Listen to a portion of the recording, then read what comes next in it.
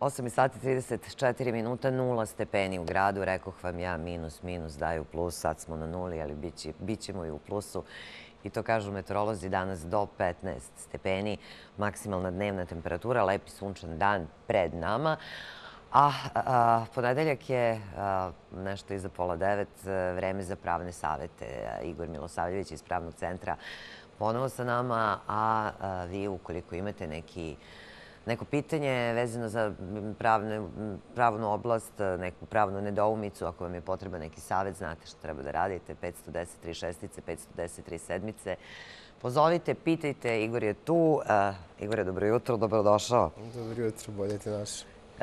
I šta ima novo u pravnom centru? Ima li nekih novih, ovaj, ne znam sad, nekih novih situacija o kojima do sada nismo pričali ili nekih starih o kojima do sada nismo pričali? Pa ima starih o kojima nismo pričali zato što to je nešto što je arhaično iz ranih vremena je bila pretnja, ovaj, pričamo o vremenu još pre drugog svetskog rata, odreći ću te se preko novina. Aha, to je sada... To je nešto što i dan danas postoji u našem narodu, da ljudi zovu telefonom ili dolaze u kancelariju, vrlo su ozbiljni, da hoće da se odreknu najbližeg srodnika, da li je to brat, sestra, da li su otac ili majka, ili pak majka ili otac svog deteta. I to ne samo što je zabranjeno našim zakonom, znači prvo takva vrsta izjave ne može da, ne proizvodi nikakvo pravno dejstvo. To je ono najosnovnije. Drugo, takva vrsta izjave je zabranjena da bude overena kod javnog beležnika, znači javni beležnik je ne može overiti a što se tiče medija, bez obzira da li su oni pisani, štampani, ovaj, e, da li su oni elektronski mediji, e, da li se radi o portalima, pričamo o ozbiljnim portalima, e, niko tako nešto ne sme da objavi izjavu tih lica, bez obzira što su oni veoma voljni da daju apsolutno sve lične podatke kako svoje, tako i osobe i srodstva koje se odriču. A, imamo nekoga na vezi pa ćemo nastaviti jer e, zanima me ovaj, zbog čega ljudi to rade, ali ajte da čujemo prvo nekoga ko ima neki problem. Halo, dobro jutro. Dobro jutro. Moje poštovanje, izvolite. E, zovem iz prve kutine. Recite. A, mogu Igora nešto da pitam? Naravno, izvolite. E, Igore, imam ovde da je žen sa majkom plac. Taj plac nije prenešen, I sad mi interesuje da li tu vi nešto možete da mi pomognete oko prenosa. Dobro, hvala. Pa u suštini mogu da iskoristim priliku, znači ja bih zamolio gospodina da se čujemo na telefon 060 1411180, zato što zbog obaveza i da se dogovorimo kada možemo se vidimo u kancelariji koju koristi pravni centar u Kalči, na prvom spratu Lamela B, lokal 43, jer zbog obaveze ja nisam u kancelariji ceo dan, a vrlo često sam i van iša, ali to ne znači da nećemo se dogovorimo što skorije vreme da se vidimo, a tipski odgovor koji bi mogo da se da u svim tim situacijama jeste da kad pogledamo papire mora da postoji u katastru živa osoba na koji se taj plac vodi da bismo mi mogli da preduzemo jednu od dve opcije koje nam ostaju na raspolaganju. Jedna je da se zaključi fiktivan ugovor, a drugo je da se podnese tužba za sticanje svojine na osnovu mirni savesne državine, odnosno održe. Prvo, imamo još nekoga na vezi. Halo, dobro jutro. Halo. Taj neko je odustao, ali je ovaj, sačekat ćemo da pozove još neko. E, zašto se ljudi odriču svojih srodnika? Zašto požele da se odriču svojih srodnika? Da se vratimo onu prethodnu priču. Pa sad, ovo što ću ti kažem je vrlo ozbiljno. Znači, e, ne šalim se, niti želim da omalovažavam ovaj, ničiji problem. E, meni je zaista žao što pravni centar nema prostornih, nema ni svoje financije, ali nema ni finansijskih mogućnosti da u slučajima kada su porodične stvari u pitanju, da u tim slučajima, pored mene kao pravnika, sedi i psiholog sa iskustvom upravo iz oblasti a, porodičnog prava, kako a, partnerskih odnosa supružničkih ili ako je u pitanju vanbračna zajednica a, partnera u vanbračnoj zajednici, tako i između odnosa između roditelja i dece. Jer, a, verujem iz ovih od 2011. septembra kad je pravni centar Niš počeo da, da, da radi, da kažem, punim kapacitetom i zvanično registrovan, pa evo do dana današnjeg ja mislim da bi od ukupnog broja razvoda i, i dugih sudskih sporova vezanih za starateljstvo, barem jedna četvrtina razvoda se ne bi, odnosno postupaka za, za počinjenje razvoda se ne bi sproveli, ti brakovi do dan danas ne bi bili razvedeni, a tamo gde su deca korišćeni njime manipulisano i gde deca danas imaju emotivne i psihičke probleme pa se javljaju lekarima, prošli bi bez svega toga i danas bi izrastali već u zdrave kako psihički, tako i emotivne ličnosti, jer kada dođe do sukoba dva partnera, deca su najubojiti oružje koje se vrlo često koristi, pri tome se ne vodi računa o emocijama te dece, jer time što će roditelj koji je staratelj da zabrani detetu da ode da vidi drugog roditelja, ne povređuje samo njega, nego povređuje i svoje dete koje ima potrebu da vidi svog oca ili majku, zavisi komu je staratelj. A, čućemo još neko. Halo, dobro jutro. Halo, dobro jutro. Dobro jutro, još jedno moje poštovanje, izvolite. Imam jedan problem na teritoriji opštine Merošna. Recite. E, neka melioracija je prošla za zemljište. I 2014. Uh, otac je ostao dužan nekih 1400 dinara. Umeđu vremenu otac mi je preminuo pre dve godine. I sve je to prošlo na mene i došlo mi je da, da plaćam tu melioraciju, odvodnjavanje ili bilo šta. Međutim, nikakvo odvodnjavanje, nikakvi kanali, nikakve reke ne čiste. A, ja imam to dugovanje iz 2014. godinu koje uh, sam nasledio ili ne znam da to da plaćam. Bio sam u Srbija vode, kažu to mora da se plati, sa kamatom je 5000. Pa ne moraš da platiš, pa ne znam kako će, a kamata ti ide. E, interesuje me da skratim priču, samo da mi gospodin Igor, razgovori iz 2014. znači to je 8-9 godine prošlo. Da li to dugovanje moram da platim? Ajde ovo što je prešlo na mene pa sad u buduće moram da plaćam. Međutim, to što je dugovanje iz 2014.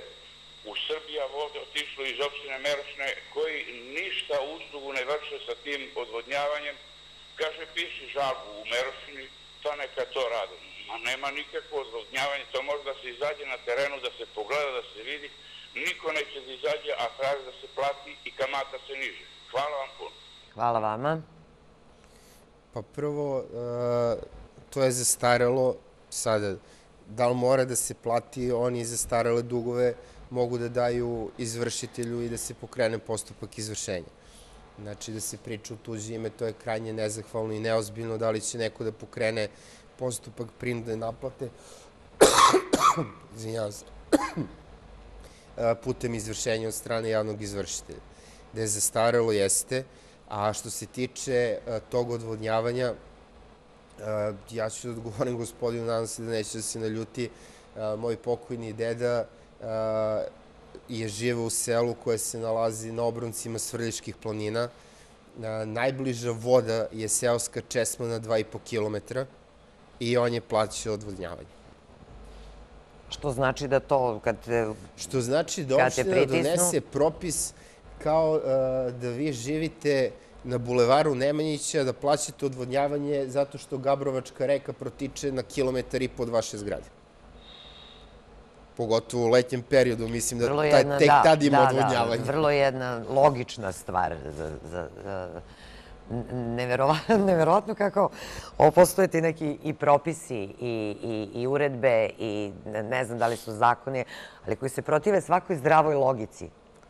Pa, I sad ja, sad ja kao gledam u tebe i čekam da mi kažeš kako je moguće da se... Pa isto je moguće kao sistem, ako se sećaš što je bilo a, pre par godina, ja ne mogu zaista tačno godinu da, da, da se setim, kada su ljudi imali masovan problem oko poreza na imovinu građana zbog toga što je odjedanput poljoprivredno zemljište postalo gradsko građevinsko Da, zemljište. da, da, da, da. I tada su objašnjavali, neko je seo ko donosi odluke, stavio je kartu Niša i okoline, zabao šestar na trg kralja Milana, napravio koncentrične krugove i rekao ovo je prva zona, ovo je druga. zona, ovo je treća zona, četvrta, peta, gradskog građevinskog zemljišta i ovde se završava. Što ne znači da nećemo na nekoj drugoj sednici kroz neki vremenski period, da na isto mesto zabodemo šestar pa da obrnemo još jedan krug i da to proglasimo gradskim građevinskim zemljištem. Što uvećava porez, a to objašnjenje koje je krajnje nesuvislo, da, pa znate, to je gradsko građevinsko zemljište, pa tu može da se gradi, pa ćete vi da ga prodate skuplje. Pa prvo neko treba da uopšte želi da kupi tamo, da bi neko mogao da proda. Da bi neko mogao da proda. Da čujemo još nekog od e, naših gledalaca. Halo, dobro jutro. E, Halo, Evo, dobro jutro. Ajte samo, molim vas, tišajte televizor da se čujemo telefonom, da ne kasni zvuk. halo, Čujemo vas, dobro jutro, izvolite. dobro jutro. Htela sam da postavim jedno pitanje o gospodinu. Imamo, htjela, imamo, imamo plac iznad Amerikanca već 30 godina. I sad bi htjeli da prebacimo to na čerku. Kakva je procedura? E, ove plac je upisan u katastar, tako da nikad do sad nismo dobili nikakvo rešenje za plaćanje poreza, pa me interesuje sad e, kakva je procedura, onda pre, htjeli smo da prebacimo to čerki, ali ove, kak, da li treba da platimo nešto ili nikad nikakvo rešenje nije došlo, a sad je to zemljište prešlo u gradsko zemljište. Pre možda par meseci kako. Pa vas molim za neki odgovor. Hvala. E, Pa Hvala evo vama. ovako procedura, sad ću da kažem onu uopštenu, procedura je prepis liste nepokretnosti. Prepis liste nepokretnosti može da se izvadi u katastru, međutim onda morate zovete call center pa da vam zakažu, pa da odete, pa da vam daju uplatnice, pa da idete u banka pošto čekate red da platite, pa da se vratite i 1200 dinara košta. Drugi način vađenja prepisa posjedovnog lista ili liste nepokretnosti jeste da odete kod bilo kog javnog beležnika gde košta 590, 600 dinara otprilike, a, znači duplo jeftinije, gde odmah na šalteru dobijete sa pečatom što jeste a, zvanična isprava i dobijete fiskalni račun da ste platili ili plaćate na istom tom šalteru. Znači, prepis liste nepokretnosti je kao kad uzmete iz laboratorije a, nalaz i odnesete kod lekara. Znači, to je krvna slika nepokretnosti. Ovo što je gospođa rekla da je prešlo na državu, to mora da se pogleda šta i kako je u pitanju i da li je, može da bude u pravnom prometu. Ukoliko može da bude, vrlo je jednostavno, prepis liste nepokretnosti očitane lične karte vlasnika, ukoliko je stečeno u braku, onda i drugog supružnika koji nije vlasnik, zbog njegove saglasnosti očitana lična karta ćerke, piše se ugovor o pokloni, overava kod javnog beležnika, koji kasnije to taj ugovor, ja se izvinjavam, dostavlja kako katastru, tako dostavlja i poreskoj upravi u dalji postupak, znači prevođenje i kod jednih i kod drugih u njihovoj evidenciji vlasništvo sa prethodnih na uh, gospođinu čerku. E, još neko je sa nama. Halo, dobro jutro. Halo, Mm, Dobro jutro. interesuje me kad se daje punomoće advokatu, da li se navodi ta, baš tačno za, zbog čega se daje punomoće ili uopšte daje se za, za bilo šta? Dobro, hvala. Može jedno i drugo. Dobro, kratko jasno, znači, Zašto? Zavisi, može i jedno i drugo. ako se odluči, recimo, no, pretpostavljam da naš gledalac se plaši da ako ovlasti advokata da se bavi apsolutno svim, da će na neki način biti prevaren, možda ne, ali eto.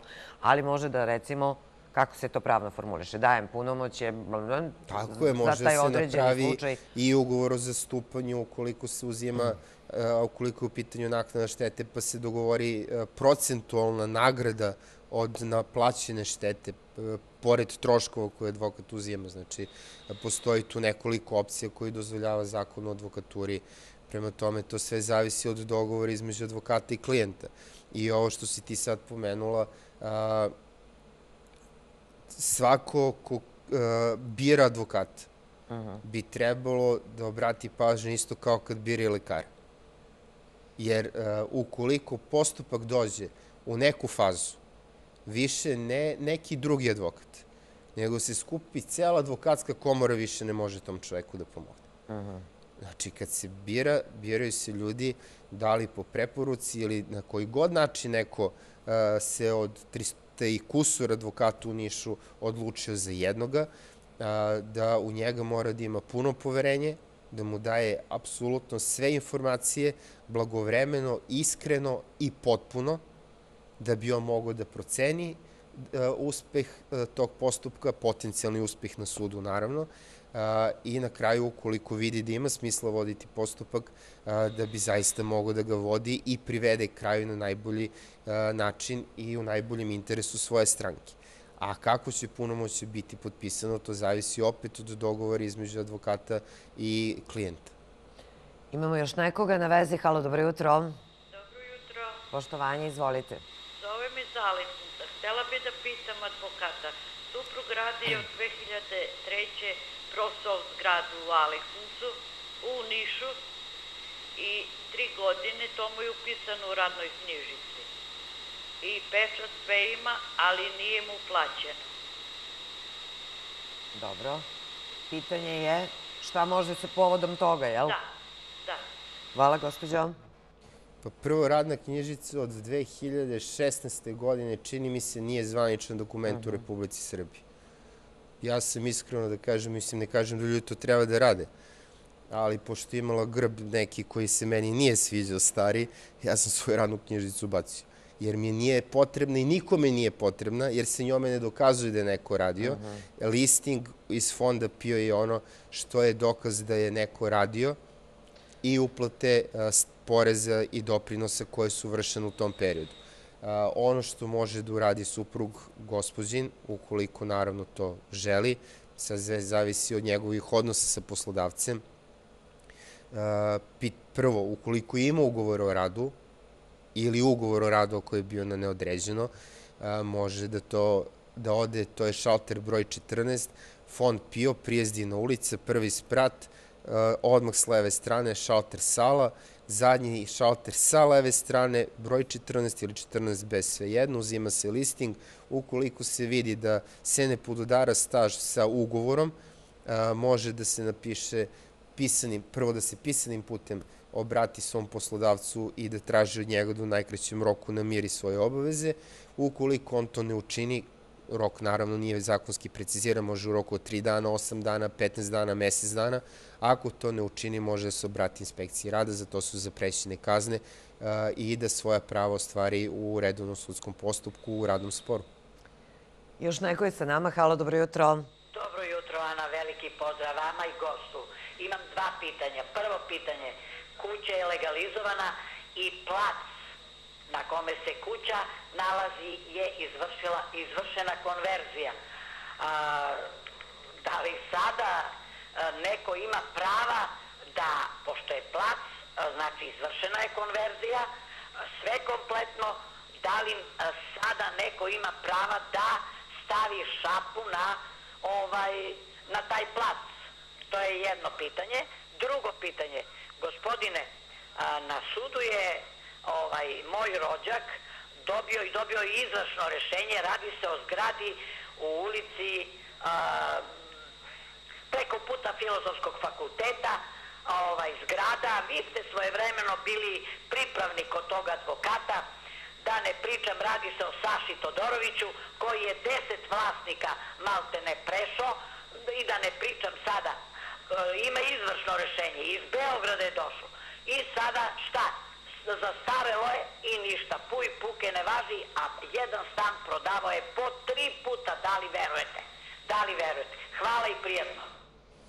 Hvala ja sam vama. bio pripravnik kod advokata koji je branio, odnosno zastupao jednog od oštećenih, koji je čovek ne samo prodao svoju kuću ili stan, od- odavno je to bilo, e, da bi platio, nego je čak podigao on i njegova supruga ogroman kredit da bi opremili stan i kada su opremili stan, znači sve ono, od malte notirača do, do ovaj, garniture za terasu, a, onda se pojavilo privatno obezbeđenje i zabranilo je ulazak ljudima u zgradu, osim onih koji su bili na spisku.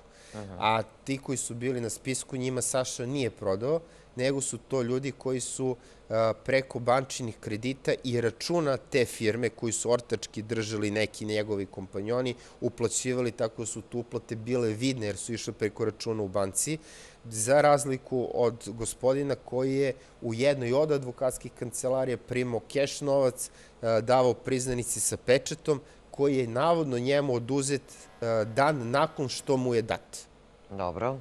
Tako da znamo čemu se radi, ali što se toga tiče, verujte, ja ne mogu da komentarišem sporove koji su drugi vodili, a ni rad našeg pravosudnog sistema, jednostavno šta su uradili, uradili su, to je ogromna zgrada, neću da kažem da je kompleks zgrada, tu je veliki broj stanova, tu je bio izuzetno skup kvadratni metar i lokacije na fantastičnom mestu, bukvalno preko puta Filozofskog fakulteta, a, ovaj, ulica, ugu ulice Prvomajski Ćirili Metodija, tako da e, zaista kako je to dozvoljeno e, i na kraju i ono što se desilo, e, gospodin koji je pomenut, on je bio u pritvoru, ja nisam tačno siguran koliko, kako izašao iz pritvora, gubi mu se trag u Srbiji, odlazi u inostranstvo. Pogrešit ću, ali čini mi se da mu ni putna isprava nije uzeta. A i da mu je uzeta s tolkim parama, mogu i da nabavi drugu. Je da... A šta je sa onim prvim delom? Ja sam već i zaboravila šta je gospođa. Pa meni baš nije najjasnije uh, ukoliko urađena je konverzija, što znači da se vodi svojina na gospođu, ne znam šta to znači da neko stavi šapu na tu imovinu. Ne, ja nisam razumela, Mislim, ali da... taj termin je toliko abstraktan i širok da može da podrazumeva mnogo što šta. A kada bismo krenuli od slučaja da. do slučaja, ovaj, već bismo krenuli u novo jutro. Dobro, dobro, javite se gospođo u pravnom centru, pa ćete detaljnije To bi bilo najbolje na razjasniti ovo. 060-141-180 da se čujemo i po potrebi da se dogovorimo eh, da donese gospođi to rešenje ili posebnovni list da, da pogledamo kako je to upisano i onda da jednostavno u razgovoru vidimo što je još bolje, ako je u mogućnosti da dođe do kancelarije, u razgovoru da vidimo šta je to što jednostavno nju tišti, čega se ona pribojava ili šta je ono zbog čega strepi ili misli da može negativno da se desi na, za njenu imovinu. Još neko je sa nama. Halo, dobro jutro. Dobro jutro. Moje poštovanje. Pozdrav voditeljki i pravniku. Htio sam e, jedno pitanje ovaj pravniku Igoru. Recite. Ovaj, a poznato mi je da u braku ovaj, poklon se ne uračunava u zajedničku imovinu. E, to je odavno, tako koliko ja znam, mnogo godina. E sad šta je, e, u jednom turističkom mestu, daleko od Niša, o, na ime placa o, dobio sam dva stana. Kad sam prvi prodavao, ovaj, e, ni, e, taj e, iz te agencije, niti notar nije tražio saglasnost supruge u vezi prodaje stana. Međutim, sad treba da prodam i drugi stan, ali u drugom e, mestu idemo kod notara, ovaj mi traži e, izjavu supruge da se slaže sa tom prodajom. Pitam se da li u pravu i da li ja to moram da se maltretiram i da vadim i plaćam tu izjavu. Hvala vama. Pa izjava se ne plaća. Izjava se unosi u tekst ugovora. Znači, piše prodavac, kupac i saglasan. Mislim, sad da ne pričamo da ne bi gubili vreme tekst ugovora. Kod prodavca se piše da je e, ime, prezime i tako dalje, piše se ko daje saglasnost uz njega, ko je kupac i na kraju potpisuju prodavac, kupac i u ovom slučaju supruga. I taj ugovor se overava, znači nema tu neke izrečite A ovo posebne što ranije nije saglasnosti. traženo, sada se traži, se to nešto promenilo u zakonu ili... A, pa da vam kažem nešto, prvo, a, nije apsolutno tačno da ugovor o poklonu ne ulazi u bračnu tekovinu. A, vi imate ljude koji su hipotetički, koji su prodali, koji su mladencima poklonili njivu da bi oni mogli da sagrade kuću. pa je jedna porodica poklonila njivu, druga porodica je platila građevinski materijal, ali to nije poklon čerki ili poklon sinu zasebno, nego je poklon i zetu i čerki, odnosno poklon i sinu i snaji. I to spada u bračnu tekovinu, jer se poklanja u zajednici. Dugovi koji se prave, imate dugove, ako je dug napravljen za potrebe bračne zajednice, Ako se ja podivu kredit da nas dvoje odemo na more kao supružnici, koliko je moj dug, toliko i tvoj. Ali ako sam podigao kredit da bih otišao kod skarnicu i slupo ga za jedno veče, to je samo moj dug. Više nije tvoj. Niti će ikada biti. Znači, tu postoje razlog da li je poklon dat bračnoj zajednici, da li je dat supružnicima ili supružniku. A što se ovoga tiče, nema tu nikakve posebne izjave ta izjava je sastavni deo ugovora o kupoprodaji nepokretnosti. Tako da čak notari insistiraju da bude potpisano na samom ugovoru, neki notari insistiraju, pored kupca i prodavca, sa leve i sa desne strane, ispod njih, po sredini, obično pričam sad vizualno, stoji saglasna ili saglasan, pa ima i prezime supružnika prodavca. Hvala Igore puno na vremenu koji, evo, svakog ponedljika izdvojiš za nas i naše gledalce. Nadam se da se vidimo i sledećeg ponedljika. Ovaj, od Igorovih obaveza zavisi hoće li biti ili neće ovde u ponedeljak, ali u svakom slučaju, kad god došao, dobrodošao, jer očigledno ima ovaj, jako puno i pravnih nedoumica i menjali su se propisi, menjali su se zakoni, a i mi kao građani, većina nas uglavnom nije upućena. A i kad krenemo da se upućujemo, bolje da se ne upućujemo. Samo glava zaboli od ovih vrlo ovako suvislih i vrlo logičnih poteza države, ali dobro. To, o tom potom, o tome ćemo neki drugi put. O tome, verujem, ja sam skoro imao razgovor kad su ljudi krenuli da upoređuju uh, o tome kako je, kakvi su zakoni bili nekad, kakvi su zakoni sada. U suštini, pošto se očekivalo između ostalih i moj odgovor, rekao sam da ja e, nikada nisam bio narodni poslanik, niti ću ikada biti te učestvovati u donošenju zakona, nego sam samo pravnik koji može da misli da su loši ili dobri, ali svakako treba da se utiče na one koji ih donose, da budu bolji i da jednostavno e, čini mi se da mi idemo u sasvim kontrsmeru, jer pravo je to koje treba da prati razvoj društva i potrebe društva. A kod nas mi donosimo zakone pa prilagođavamo društvo, ono čemu smo, da, što da. smo doneli kao zakonsku obavezu. Pa tako jedna lepa, lepa jedna obrnuta logika. Hvala ti puno, pričat ćemo i o tome sledeći put. Naš vlada Đorđević je na trgu, pretpostavljam, mislim da jeste na trgu, kralja Milana. Da čujemo vremensku prognozu za danas. Vlado, dobro jutro. Dobro kao i svakog ponedeljka, ovaj kabli uopšte ne treba bude ovde. Nije, nije ovaj, kao i svakog ponedeljka ovaj kabli na pogrešno mesto, ali kao i svakog ponedeljka sa nama lekari Doma zdravlja, doktorica Nevena Simović, danas naš gost. Dobro jutro, dobrodošli. Hoćemo da krenemo od, od ovog vremena nekako. Ovaj, počeli smo kao englezi, ali to je mnogo, mnogo je dobra stvar, jer za sve što vam sad nešto ne valja, možete da okrivite vreme. Evo, na primjer, ja nešto sam neraspoložena, to je do vremena. Nešto se osjećam ovako, sve i sve je do vremena. Bolje da je do vremena nego da je do nas. Ali koliko je do vremena? Koliko danas, e, počeli smo dan sa temperaturom od minus 3 stepena, meteorolozi kažu plus 15, razlika od 18 stepeni u, u svega par sati. Kako to utiče na organizam? Tako je, svakako da utiče, svakako da su osetljivi stari hronični bolesnici, mada i na zdrave ljude utiče u nekim delom, na promenu raspoloženja. U svakom slučaju osnovi je ta promene vazdušnog pritiska, jonske izmene u vazduhu, prosto stanje krvnih sudova, kako, kako reaguje na, na ovako velike temperaturne promene.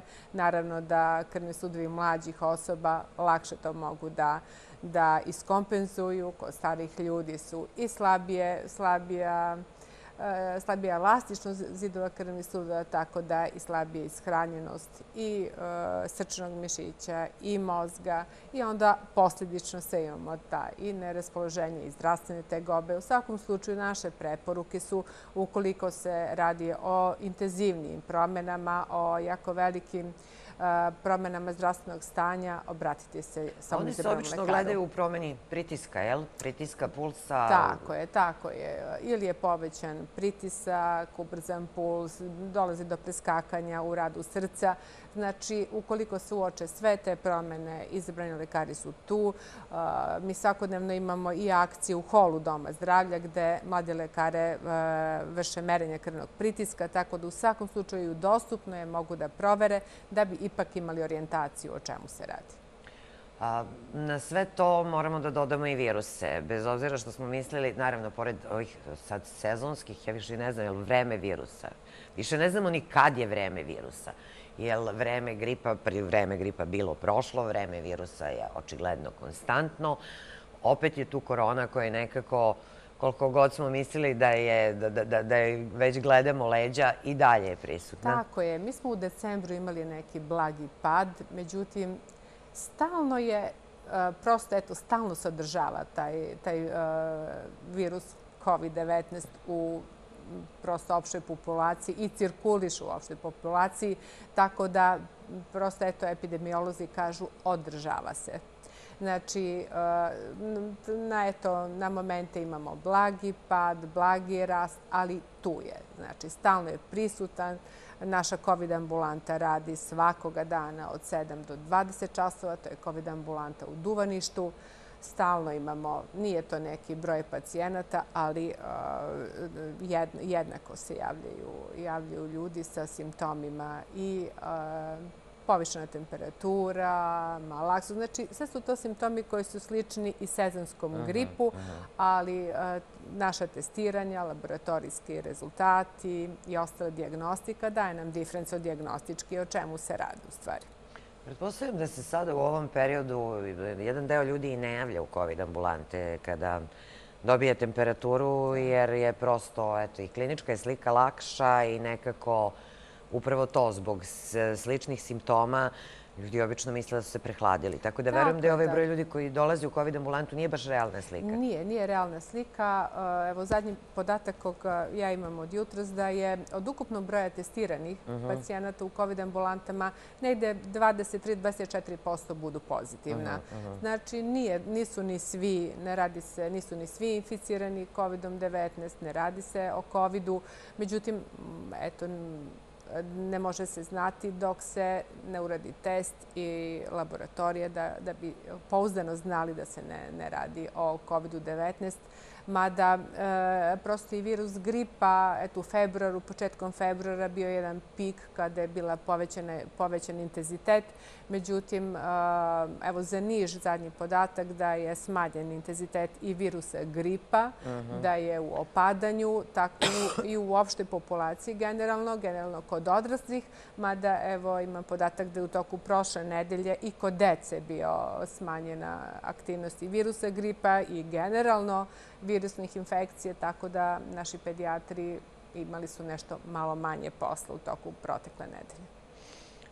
što se tiče ostalih virusa, ne znam, stomačni virus, ja kažem, više ne možemo da uhvatimo, ranije nešto bilo kao sezona virusa, pa nije sezona virusa, sada smo, jel te, od, od korone na ovamo, ili smo mi postali svesniji virusa, ili je zapravo korona bila taj primerni virus koji je nekako sve druge obuhvatao ili smo sve jednostavno gledali kroz koronu, ali nekako nema leta, zatišja, visokih temperatura koje ubijaju viruse, niskih temperatura koje ubijaju viruse. Odjednom su se pojavili silni neki virusi imuni na sve te spoljašnje faktore.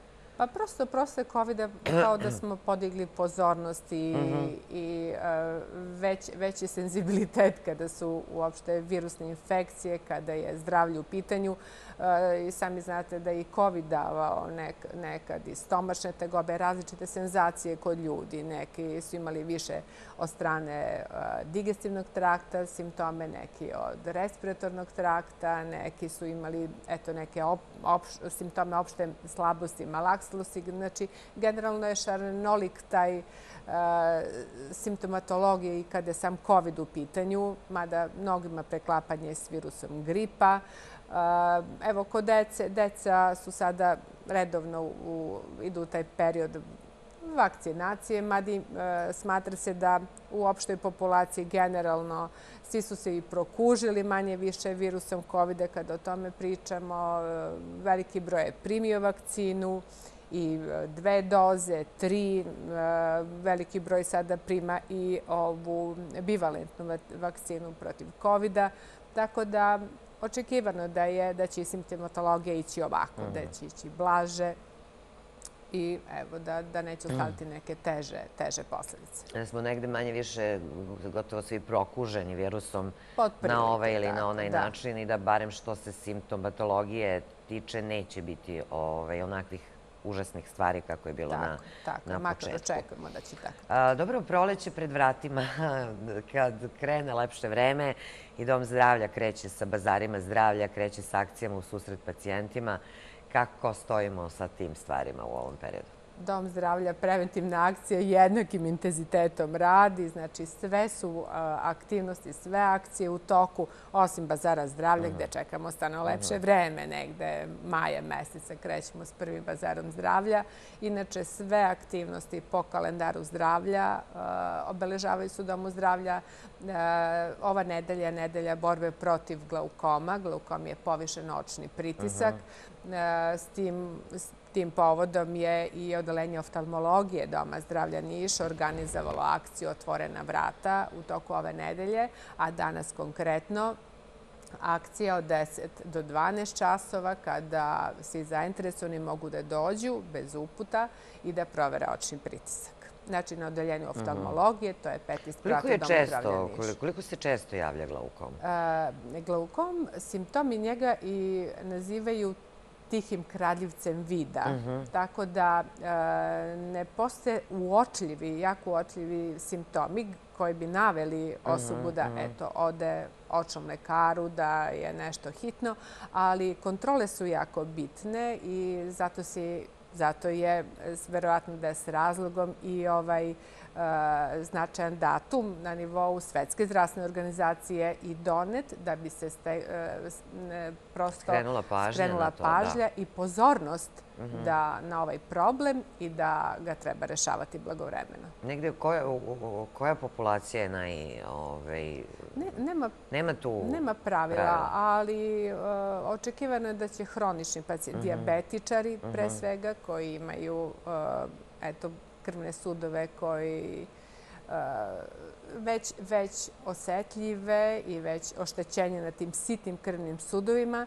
jer pre svega kod diabetičara prvo reaguju krvni sudovi oka i bubrega. Mhm. Tako da je velika pozornost kod diabetičara. Dakle, ne postoji starostna grupa koja, koja je ciljeno namenjena ova? Naravno da, da, da će u starijem životnom mhm. -huh. dobu očekivano je i češće je, ali i u mlađoj populaciji, pogotovo što se mnogo radi s računarima danas, što je mnogo monitora i deca su izložena monitorima, zračenju monitora, tako da ipak treba, treba obratiti pažnju. Isto što se tiče eto, prevencije, odnosno merenja očnog pritiska, rekao ste u ovoj nedelji, je li ova nedelja? Tako je, tako je populacija koja je namenjena ovaj preventivni pregled nije starostno ograničena? Nije starostno mhm. ograničena. Znači, danas će moći svi da dođu. Naravno, očni lekari su tu pre bilo kakvog merenja očnog pritiska. Očni lekar pregleda, uzme anamnezu i onda, mhm. onda se radi samo merenje. Dobro, kako napreduje, napreduju preventivni pregledi vezano za osteoporozu, s obzirom da je to jedan od novih e, preventivnih pregleda uveden u, u tako Domu je, Tako je, ovo što se tiče i uh, te koštane dez, mineralne dezintometrije, uh, odeljenje fizikalne služba fizikalne medicine od ove subute priključuje se generalno akciji Doma mhm. zdravlja Niško. To su one akcije Otvorena vrata koji ide svake subote od 7 do 14 časova. Naime, ove subote prosto tim fizijatara, lekar i fizioterapeut dežuraće i za sve one koji žele da, da urade koštanu dezintometriju Naravno da pre svega indikacije za koštanu dezintometriju su sve osobe starije od 65 godina, ali mogu da se jave i mlađi, e, kao i kod oftalmoga. Ovde je dežuran fizijatar koji će prvo pregledati pacijenta, porazgovarati i onda kod onih koji je indikovano uradit će se i koštana dezintometrija. Dobro, ima li nekih novih, ne znam, ne, neću da kažem nekih novih oboljenja, ali prosto možda porast nekih, nekih oboljenja u odnosu na prethodni period, generalno gledano? Generalno ne. Evo, mi smo upravo imali e, kolegiju Mhm, koji redno imamo početkom svake nedelje. E, Načnici ništa nisu istakli da ima porast, da postoji pik. Uglavnom je to očekivano, sve ono što se javlja, očekivano je za ovo doba godine. Znači i što se tiče um, odeljenja za zdravstvenu zaštitu odraslih, ali i kod pedijatara. Uh, Ono što je važno na pedijatri, kada su deca u pitanju, da su u toku sistematski pregledi za upis u prvi razred. Ono što je novina ove godine, da su sve specijalnosti gde su deca išla na konstitutivne preglede, a to je fizijatar, stomatolog, oftalmolog, um, otorinolaringolog, Znači, svi su oni tu na pedijatriji, deca ne moraju da se šetaju po, po objektu, tu su i onda se na vrlo elegantan način i vrlo efikasan način uh, odvijaju sistematski pregledi. Bitno je da roditelji prate uh, termin koji su dobili, dan i, i vreme kada da se jave u dom zdravlja i uh, tako da za sada to ide bez, bez problema. Inače, u toku su i sistematski pregledi srednjoškolaca kada je stomatologija u pitanju. Uh, U vreme COVID-a nešto je bilo zastoja po pitanju ovih sistematskih pregleda, a sada se to radi većim intenzitetom. Onda uh, preventivni centar na stomatologiji radi uh, i to baš do jako lepo kada su trudnice i porodilje u pitanju. A, jako je bolji odziv, e, zato što je stomatologija opredelila čitav deo jedan koji je namenjen trudnicama i porodiljama i one dolaze, imaju prava na besplatne stomatološke preglede u ovom periodu. Sa stomatologije ekipe pozivaju žene da dođu u određen termin kada njima to odgovara, tako da je taj odziv znatno bolji nego u nekom prethodnom periodu. Dobro, da stalna priča o prevenciji negde i, i stalna dostupnost preventivnih pregleda je. je zapravo najvažnija i mislim da smo ne, da, da negde smo na dobrom putu svi drugačije je. Ranije kad smo pričali o prevenciji, preventivnim pregledima, nije bilo baš tako. tako dobro organizovano, niti Tako je bilo je. mogućnosti da se tako odrede preventivni pregledi. Ali ako se stalno govori, a pritom je jako dostupno, jako lako obaviti preventivne preglede, nema zakazivanja, nema čekanja, nema uputa, dovoljno je samo da se pojavite i odradite e, to zbog čega ste došli.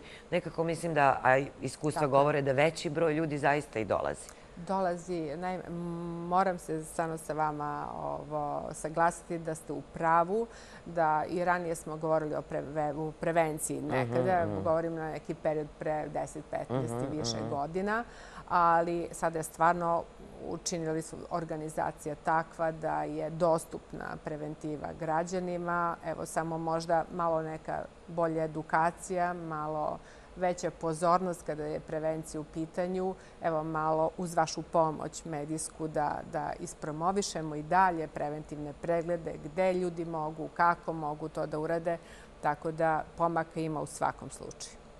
Hvala vam, doktorice, puno na vremenu koje uvek, uvek Niški dom zdravlja izdvoji ponedjeljkom za nas i naše gledalce. Ovaj, pa eto, vidimo se, naravno, kako se ovaj, do, budu dolazili neki i sunčaniji dani, pretpostavljam da će kao i raniji dermatolozi biti ovaj, uključeni u preventivne preglede, naravno sa prvim suncem počinje da se priča o melanomima, o još jednom problemu o kome se do- dosta dugo Pa nije mnogo pričalo, ali e, jesu jako važni preventivni pregledi. Naravno. I, I pretpostavljam i za sve ono zašto se budu ukazale ovaj, potrebe da će, da će biti određeno u Niškom domu zdravlja. Svakako.